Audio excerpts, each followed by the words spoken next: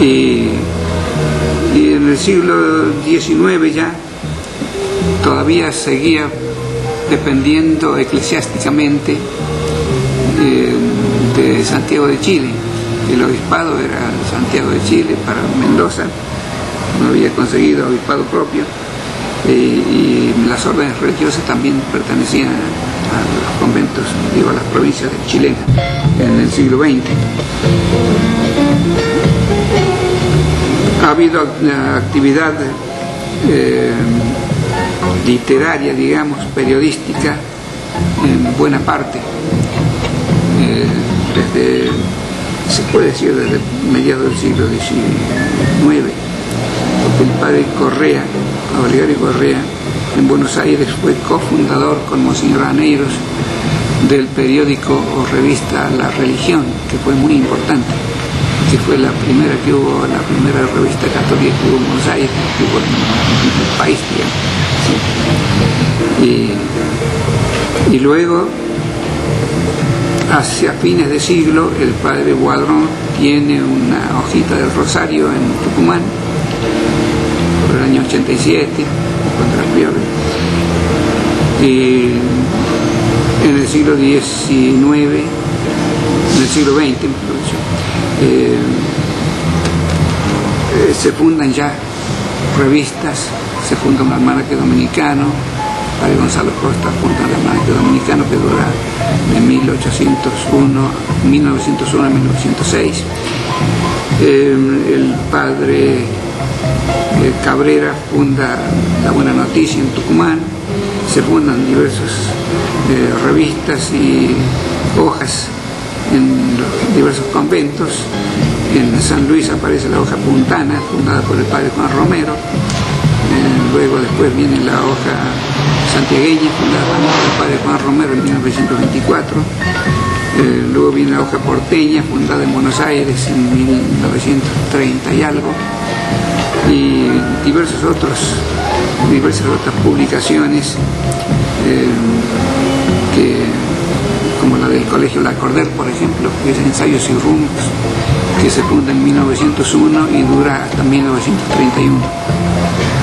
Hay otras son revistas también. Provincia eh, va eh, con algunos altibajos, eh, creciendo y afirmándose, pero hacia mediados de la década segunda del siglo se comienza a notar un, una disminución de vocaciones y esto lleva a que eh, disminuye el personal, ahora se van, se van muriendo los padres ancianos y hay poca gente nueva, digamos.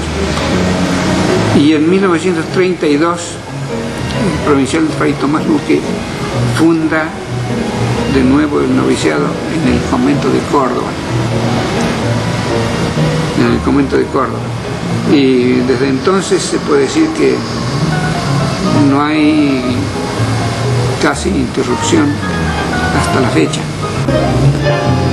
Una institución digna de ser recordada, fundada a finales del siglo XIX, es el Colegio El Cordero, el colegio eh, fundado por iniciativa del padre Marcolino Benavente, posteriormente obispo de Cuyo, eh, por los padres eh, lacorderistas, por los dominicos de la enseñanza de Francia. Lacorderistas que son uno de los muy pocos que existían fuera de Francia. Creo que había uno en España, pero nada más. Y este colegio, fundado por el padre Pilló, fue muy famoso en Buenos Aires, de los más famosos colegios de, que hubo en la capital federal. De, de, un famoso premio Nobel, dos premios Nobel, el doctor Saavedra Lamas, premio Nobel de la Paz en 1936, el doctor Luis Federico Leluar, premio de bioquímica en 1970. y una multitud de gente de la política, de la medicina, del foro, que se distinguieron en Buenos Aires y que hicieron honor al colegio. Este colegio permaneció en poder de los lacordaristas, es decir, lo, lo regentearon ellos hasta 1913, en que quisieron irse. Y en 1915 lo tomó la provincia argentina. Y, y lo mantuvo hasta 1937, en que por razones de economía tuvo que dejarlo. Y ahora me dirijo a nuestros estudiantes dominicos de Latinoamérica.